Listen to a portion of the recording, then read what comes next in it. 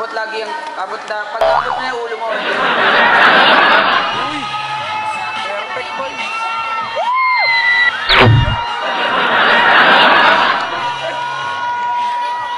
Uwa, di na.